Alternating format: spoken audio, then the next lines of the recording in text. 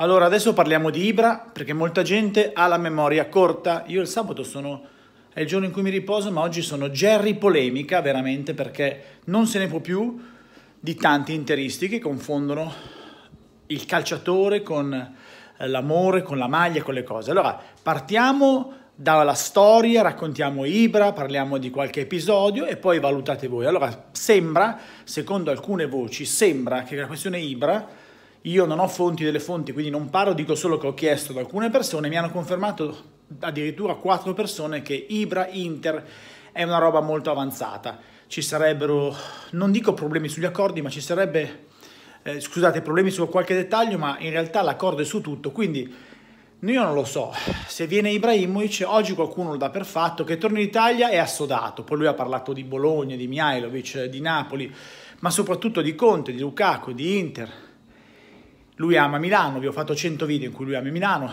abita in via Mozart, che è vicino dietro via Senato, dove io avevo l'ufficio nel 2011 e mi sono trovato anche Striscia quando gli ha dato il famoso tapiro che lui era al Milan. Mi pare che lui poi avesse fatto tipo anche una scenata tipo rompere il tapiro e poi gli hanno spiegato che era la roba di Berlusconi e quindi lui poi si era calmato non mi ricordo. Comunque eh, allora per farla la moglie è pazza di Milano perché dritta lì a 50 metri c'è via della Spiga non lo so. Comunque, eh, facciamola breve. Per chi non conosce la storia, apre le orecchie. Premessa. Premessa 1. Per il sottoscritto, cioè per me, Zlatan, Ibrahimovic è una roba, l'ho già detto, è come Baggio.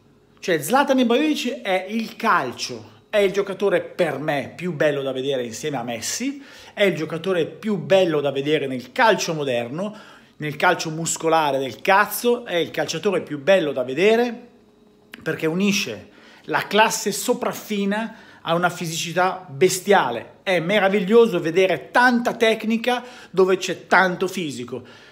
Io mi ricordo ancora il gol di testa storto, ma, ma, ma, ma, delle robe Ibra, cioè io mi ricordo ancora che lui a Parma ci fa vincere un campionato, quindi chapeau, lui entra a Parma ci fa vincere un campionato dopo un lungo infortunio, se no quel campionato lì a Parma non lo portiamo a casa ed è una beffa perché voglio dire quel campionato lì era da vincere, lo stiamo vincendo, la Roma ci aveva recuperato ma comunque grazie a Zlatan sia a Parma abbiamo vinto lo scudetto, fine perché entra al sessantesimo. Poi qualcuno non si ricorda un po' di cose. Quindi premetto che per me Zlatan è, cioè io lo prenderei anche a 50 anni, ok? Perché lui è un calciatore che cambia e sposta veramente gli equilibri, è un calciatore pazzesco, è uno che da fermo, mi ricordo a Empoli, a Palermo, quando la partita era ferma, fa gol. A parte che Ibra fa il gol più bello della storia del calcio insieme a Maradona, e, forse a Messi, perché quel gol, anzi, quel gol che lui fa all'Ajax a 18 anni è qualcosa che va oltre, forse anche Maradona, lo dico io che sono un maradoniano puro, cioè il gol con l'Ajax in dribbling ha una tecnicità, una, una roba, vabbè, fine. Quindi Zlatan non si discute. Allora, qual è il punto? Quando Ibra viene all'Inter, ok, vince, fa vincere, dà spettacolo, ma riceve da noi interisti, dagli allenatori, dai compagni, nonostante il caratteraccio, e meno male che in quell'Inter c'era Materazzi che lo teneva a bada, riceve un amore incondizionato. Io vorrei fare una classifica dei cornuti e degli infami. Ultimo posto Vieri, perché Vieri in realtà l'Inter voleva dare, ha dato l'anima. Vieri si deprime e va via, quindi l'ultimo con cui prendersela è Bobo Vieri. Parlo di grandi calciatori poi, con cui il rapporto si è rotto. Poi c'è Ronaldo. Ronaldo da un lato è vittima di Cooper, di Moratti che fa scelte sbagliate, ma dall'altro lui forza per andare al Real, noi lo aspettiamo dopo l'infortunio, sia Ibra che Ronaldo poi vogliono tornare a Milano ma vanno al Milan per farci rosicare, bla bla bla, fallendo perché vabbè non è che combinano tanto, però insomma anche Ronaldo... Eh, cioè Ronaldo è molto più infamone di, di, Vieri. Il Vieri è quello che io scuso di più perché l'ho visto, l'ho sentito, eh, ci ho parlato, cioè, ok. Poi, eh, Zlatan è, è, è il Zlatan era degli infami, come direbbero i tamarri, ma è vero. Zlatan viene, porta in dote quello che deve fare, ma gioca in una squadra straordinaria, perché spesso comunque, ok, eh, con Adriano si trova bene, con tutti, eccetera, eccetera, vince, fa, disfa, forca, e poi a un certo punto chi, chi, non c'era taccia, chi non c'era taccia. Quando lui aveva già deciso, noi eravamo in centro a festeggiare lo scudetto vinto a Parma, ok? E eh, a un certo punto lui...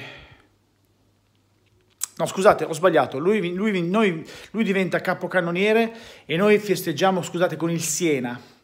Ho sbagliato e eh, andiamo in centro a festeggiare, insomma, e lui è sopra il pullman in quello scudetto che noi in realtà vinciamo con Murigno quando il Milan perde a Udine. Quindi arriva il pullman, parte dalla Pinetina, ci avvisano e loro vengono in centro.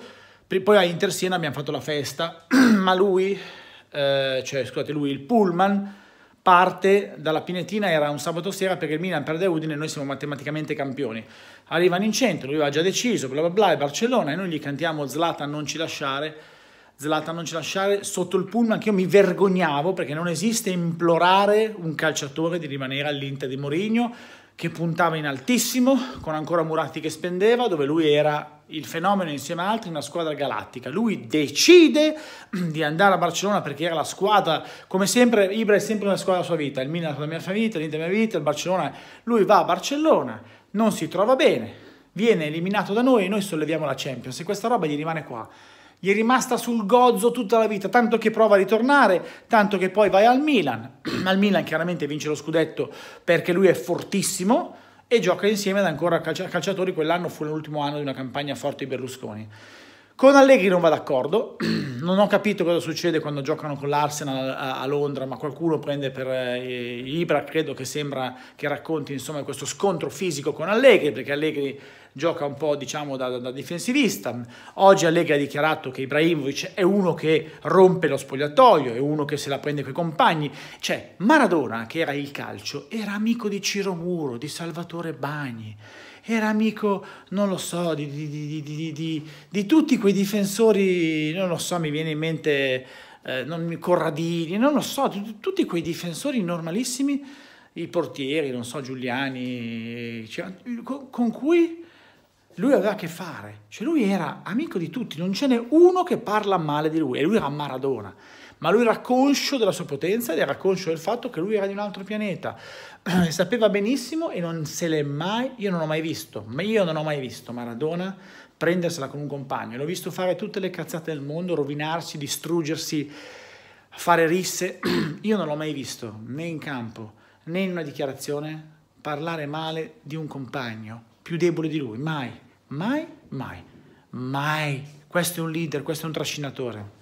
Lui non ha mai parlato male di un compagno, non esistevano e i suoi compagni non hanno mai parlato male di lui, gli hanno perdonato tutto, sapevano come era fatto, fine, fine, crippa, cioè non ce n'è uno che non gli voglia bene e che non gli abbia, quindi questo è un campione, ok? Quelli come Messi che si lamenta che Neymar non è tornato, che Ibra gioca perché lui voleva questo, però poi c'è Petro, tutti quelli che bla bla, Ronaldo che fa sempre ste scenate, Ibra uguale, Dice oggi Allegri che Ibrahimovic, ha, eh, rompeva le palle a tutti i calciatori del Milan perché non erano alla sua altezza e si incazzava, ha detto che due anni incazzato. Ibra è questo, a 38 anni non è cambiato, non è cambiato, quindi al di là eh, del fatto che lui è il più infame di tutti perché ha scelto di andare via dall'Inter, lui perché qua poteva rimanere e Mourinho gli ha parlato, rimani qua che vinciamo la Champions, rimani qua, lui se ne è voluto andare per vincere e quindi in più il gesto che fa a noi tifosi, dopo che mi pare diventi capocannoniere, non so se quell'anno lì stesso, comunque fa un gesto dopo il gol con Lazio che è vergognoso. Cioè, vergognoso, ver... tu decidi di andare via e ci mandi a cagare, ci fai il segno questo qua di succare, ma è una cosa da... Io, cioè, voglio dire, Balotelli butta la maglia per terra, è finito per noi, non esiste, finito. Ma Ibra che fa quel gesto dopo tu, infatti lo striscione era eh, ti abbiamo coperto d'amore, non l'hai saputo capire eh, o apprezzare, ora sei tu che ce lo devi succare. Mi sembra, ora che un'altra maglia hai baciato, sei tu che ce lo devi succare, ma è vero. Ma, ma, ma, ma non è... Già la scelta di andare via, eh, basta, è un, è un tradimento perché stai tradendo una grandissima squadra con, che poi è, è proprio poi un po' sconclusionato perché poi diventa pazzo di Mourinho, ne parla nel libro, lo rincorre ovunque, si vedono a Manchester, vincono insieme. No, adesso parla di Conte che assomiglia al classico allenatore, cioè cerchiamo di capirci. Cioè, abbiamo mandato via dei rompicoglioni, adesso arriva Ibra, poi ci farà vincere lo squadra 20 gol, c'è una dignità. Io ho scelto e l'Inter ha scelto una strada. Poi se, voglio dire, mh, si è scelto di prendere Ibra, innanzitutto spiegatelo a me. A me e a tutti quelli che il gesto di succare non lo fai a San Siro. Perché tu, se, se noi fischiamo, noi, c'erano delle persone che hanno fischiato un cross di Maicon l'ultimo anno che era a Milano e la gente si è alzata a fischiarlo, io mi sono anche arrabbiato con alcune persone, ho detto ma ragazzi ma come state? E Maicon ha fatto il gesto d'ombrello lungo tutta la tribuna ma aveva ragione. Ci sta che a volte ci sono dei battibecchi, anche con Mancini, con la Sandoria, poi lui si è girato e ha zittito la tribuna, ci sta, perché a volte il calcio è questo, a volte l'amore è critica e ci sta, però cioè Zlatan vuoi andare via, ci mandi a quel paese, vai al Milan, poi fai così, poi giudichi, poi no, ma ragazzi è una roba, eh, gli scontri con Materazzi, e, ehm, poi, ripeto, mi fa strano che in questa Inter che in questa Inter che ha scelto e ha fatto scelte anche pro spogliatoio, a meno che Conte non lo sappia gestire, ma rimane, attenzione, se avete ascoltato e se c'eravate, io, io ero sotto il pullman, io non ho urlato, ma tutti urlavamo, tutti insomma, urlavamo Zlatan non ci lasciare, che è una roba, quando vai dall'amorosa, eh, non mi lasciare, che cazzo mi lasciare? Che roba implorare un giocatore per stare qua a vincere la Champions. Comunque, o come minimo lo scudetto, la coppa, con Mourinho, con, con, era di fianco a dei campioni, è arrivato...